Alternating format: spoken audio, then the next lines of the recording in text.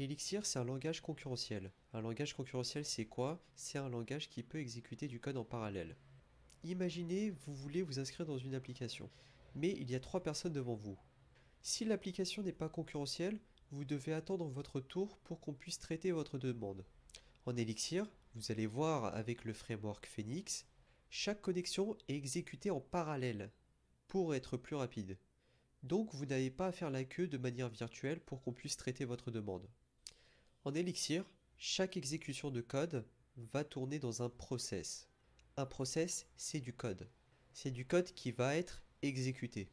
À la différence des process d'ordinateur que vous pouvez voir quand vous faites CTRL ALT SUP sur Windows, les process en Elixir sont très légers en termes de consommation de ressources. Donc c'est tout à fait normal d'avoir des centaines, voire des centaines de milliers de process qui sont exécutés en parallèle dans un programme. Quand on a une application qui ressemble à ça, qui va faire tourner des centaines de milliers de process, la première question qu'on se pose, c'est comment tout ça va être structuré. Elixir a un mot magique qui sera la réponse à ce problème, c'est l'OTP. OTP c'est quoi? Ça veut dire Open Telecom Protocol, mais ça n'a plus rien à voir avec les télécoms, et ça désigne l'ensemble des solutions architecturales ou design patterns qui permettent de gérer les process en Elixir pour créer des projets robustes. Une application, structurellement, ça va être un ensemble de process. L'OTP nous propose différents types de process qu'on peut créer pour nos applications. On a la fonction spawn qui permet de créer un process basique qui va exécuter une fonction. On a les agents, ce sont des process basiques qui contiennent de la donnée ou du state. On a les tasks qui vont exécuter une fonction parallèle et qui permet de récupérer la valeur après. Et enfin, on a les gen servers qui sont des process qui contiennent du state et des fonctions qui permettent d'interagir avec le state. Pour créer un process, la méthode la plus basique, c'est d'utiliser la fonction spawn. La fonction spawn, c'est la fonction qui permet de créer un process pour exécuter une fonction passée en entrée. Vous avez un exemple ici. La fonction spawn va prendre la fonction qui retourne 1 plus 2 Bon là, la fonction, elle sert pas à grand chose. Vous voyez, elle n'a pas d'entrée, il n'y a pas de bloc de code. Ça va juste retourner 1 plus 2. En exécutant la fonction spawn, on obtient un PID. Un PID, c'est un process ID ou identifiant de process. Ça va nous permettre de retrouver ce process parmi tous les process qui tournent dans l'application. Une fois que la fonction a été exécutée, le process disparaît. Donc si on veut garder en vie un process pendant longtemps, on en déduit qu'utiliser spawn, ce n'est peut-être pas la meilleure manière de procéder. Pour garder un process en vie, on peut utiliser un agent. Un agent c'est quoi? C'est un process qui contient de la donnée. On parle de state. Le state c'est la donnée associée à un process. Dans cet exemple, on a un agent, c'est un compteur. Un agent peut être défini dans un module. Pour créer un agent, on va ajouter la ligne useAgent qui va transformer le module basique en un super module agent.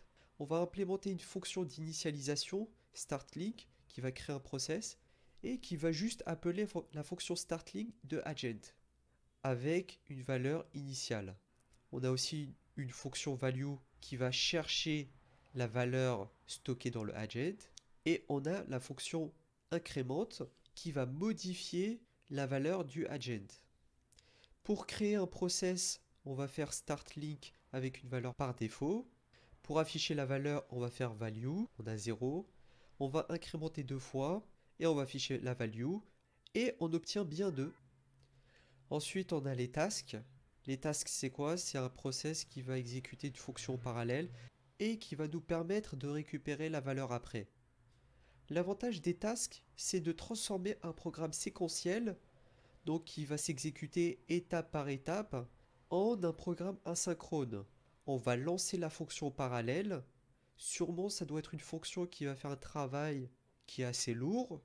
Et pendant que ce travail est fait en parallèle, on va continuer l'exécution du programme jusqu'à qu'on a besoin d'accéder à la valeur du travail fait en parallèle à ce moment-là, on va faire un await et on va attendre que le travail se termine pour capter la valeur. Pour ceux qui ont fait du JavaScript, c'est l'équivalent du async await.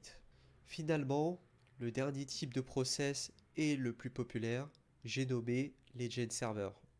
Un gen server c'est quoi? C'est un process qui contient du state, de la donnée et des fonctions qui permettent d'interagir avec le state. J'ai repris l'exemple de la documentation d'Elixir. On a un gen server qui va stocker une stack, c'est un tas de données. Ici, ça sera une simple liste de données. Pour créer un gen server, on va créer un module et on va mettre la ligne use gen server. Ça va transformer notre module en un gen server. On va mettre une fonction init pour déclarer notre state initial. On va définir des fonctions pour interagir avec notre state. La première fonction va enlever le dernier élément de la liste et la deuxième fonction va pusher un élément, c'est-à-dire que ça va rajouter un élément dans la liste. Pour créer un process de type GenServer, on va utiliser la fonction startLink qui va générer un PID. Ensuite, on peut faire des appels de fonctions qui vont interagir avec notre process. On a initialisé notre liste avec hello. Si on fait pop, on va capter hello. Si on fait push world, on va rajouter world dans la liste.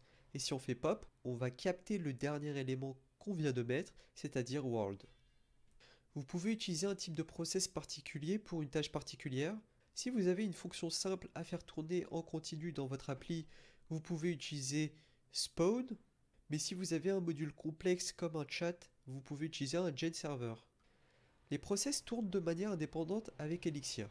Par exemple, ici, on a un process A qui est un agent, un process B qui est un gen server, et un process qui est aussi un gen server. Si un process crash, ça n'a pas de répercussion sur les autres process de l'application. Chaque process est isolé des autres process. Maintenant, il faut un moyen de pouvoir réinitialiser un process s'il crache. Donc on a besoin de superviser les process. Pour ça, l'OTP nous propose un composant spécial, les supervisors. Un supervisor c'est quoi? C'est un process qui va superviser d'autres process. Dans notre cas, ça tombe bien, on a un process qui a craché, avec un supervisor, on va pouvoir superviser nos process et on peut définir une politique de gestion de crash. Si un process crash, on peut préciser ce qu'on doit faire. Généralement, on voudra juste le relancer. Donc s'il crash, c'est le supervisor qui sera chargé de le relancer. Si vous créez une application complexe qui contient de multiples process, vous pourrez créer autant de supervisors que vous voulez vous pourrez même avoir des supervisors de supervisors pour ainsi créer ce qu'on appelle un arbre de supervisors. Voilà donc à quoi va ressembler une application en Elixir. Pour rappel, on est passé de ça, multitude de process désorganisés, à ça, un arbre de process structuré, tout ça grâce à l'OTP. On a vu énormément de notions nouvelles dans cette vidéo, mon objectif, ce n'était pas que vous sachiez implémenter ce genre d'architecture à la fin de la vidéo. Je voulais juste brièvement vous parler de ces notions et vous donner une vue d'ensemble de ce qu'est l'OTP et comment sont structurées les applications d'Elixir. Je vais être honnête avec vous, vous n'êtes pas obligé de savoir comment créer des gen servers, des agents, des supervisors ou pour commencer à travailler avec Elixir et notamment le framework Phoenix. En effet, c'est le framework Phoenix qui va vous poser la structure de départ et vous permettre de ne pas vous préoccuper des configurations initiales de vos applications. Vous allez apprendre à connaître les différents composants de l'OTP petit à petit, mais sachez juste que c'est l'OTP qui est derrière la puissance de l'écosystème et des applications Elixir.